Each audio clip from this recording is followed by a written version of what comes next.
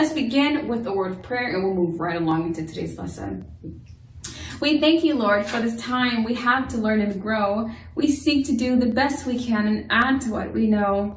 We love you, God, with all our hearts, and to others love we show. Pleasing you is our goal, not to our lesson we should go.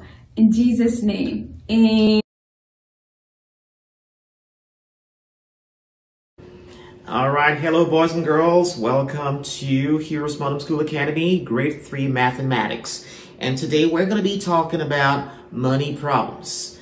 And we are going to be on week number 23, day number 4, page of the curriculum. Specifically page 162 of your workbook over there. So you're welcome to turn, over to that page um, if you've downloaded the workbook for uh, before. All right, so yesterday we talked about money problems, and I know there were lots of moving pieces to it. So today we're gonna go over it one more time just to make sure that you get it.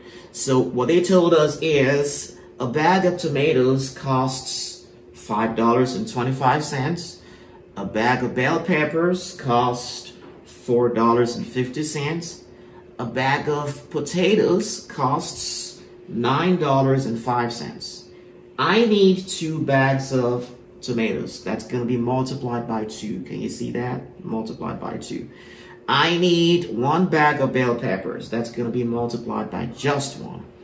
I need two bags of potatoes. That's going to be multiplied by 2. So that's what we did over there.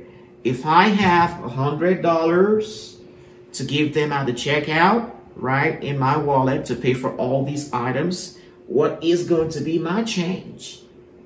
All right, so I need two bags of tomatoes. I need one bag of bell peppers.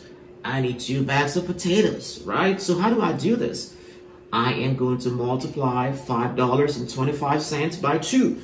And that's what I did over there.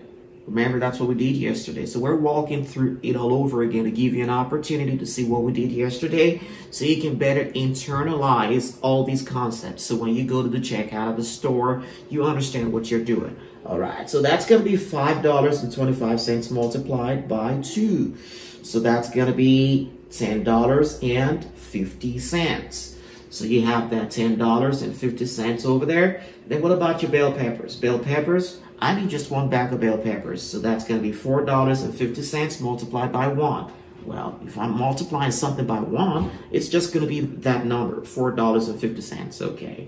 Then I went to potatoes. So I need two bags of potatoes. So we need we need to multiply $9.05 multiplied by 2. And that's what we did over there. $9.05 multiplied by 2. Well, we got $18 and 10 cents. So we were $18.10 over there. All right, so what are we going to do right now? How much will all these items, all these items over here, how much will they cost us? Well, we did that addition problem over there. We added $10.50 together with $4.05 together with $18.10. And then we did that calculation over there. We got $33 and 10 cents. But that's not the end of the story. I only have a $100 bill in my wallet to pay for all these items. I'm to give them a $100 at the checkout. What's to be my change? What's the leftover there? So that's a subtraction problem. $100 minus $33.10. So if you do that subtraction, you're to get $66.90. Okay. So just to give you an opportunity to see how we got this, because I don't want it to be too fast for you. But just like faith comes by hearing, hearing by the word of God, mathematics is going to come by hearing and hearing and understanding and hearing and hearing over and over again until you get it. Word problems with money. Did you get it? I trust you did. All right, so there is going to be exercises on page numbers 162 of your workbook and 163 please go ahead and turn over there and try to complete those exercises so you can better internalize these concepts we're talking about. You're going to be a master of them. All right. Uh, remember to recite your morality creed, and you're welcome to take a snapshot of the worksheet on the board when I step aside for just a little bit if you haven't downloaded your workbook just yet. All right. God cares about you, little heroes, and so do we. Bye-bye. I believe in Jesus Christ, the Messiah who died and was resurrected from the dead to save humanity from sins. He is my Lord, Master, Boss, and Savior.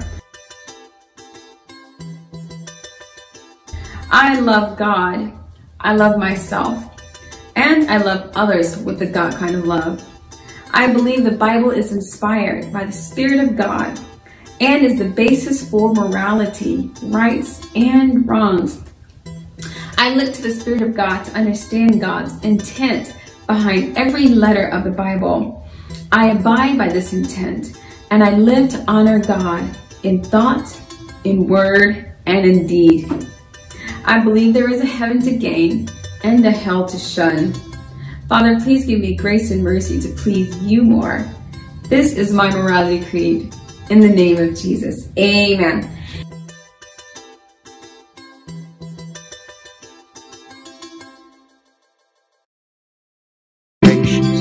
I'll be your hero's buddy, and as you study with heroes born, I will be your friend.